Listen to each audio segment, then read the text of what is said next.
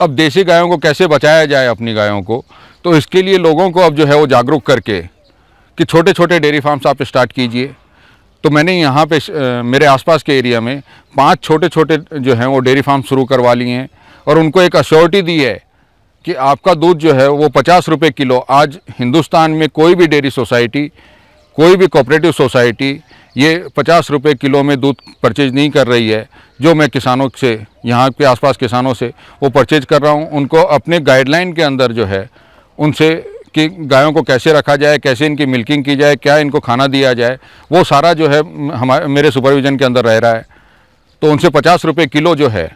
तो किसान की आय को दुगना करने के लिए जो सरकार प्रयास कर रही है, हम उसी प्रयास को जोड़ते हुए, और ये सब काम जो है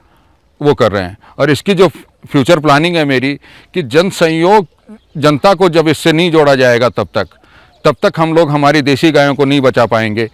तो मैंने कहा कि आप अपने घर पे गाय नहीं रख सकते हैं पर अगर आप सक्षम हैं और गाय रखना चाहते हैं तो मेरे यहाँ पे आप गाय गाय रखिए मैं उसकी सेवा करूँगा उसकी आ, मिल्क प्रोडक्शन लूँगा और उसके एवज में मैं आपको जो है वो उसके अकॉर्डिंग रिटर्न देता रहूँगा। तो मैंने पूरा का पूरा एक प्लान बनाया और लोग जो है अब हमारे साथ जुड़ते जा रहे हैं। काफ़ी अच्छे लोग जो समाज में समृद्ध लोग थे, वो हमारे साथ जुड़ रहे हैं। और इस, ये सब लोग जुड़ के, और हम एक मुहिम चला के हमारी देसी गोवंश को हम लोग बचा पाएँगे।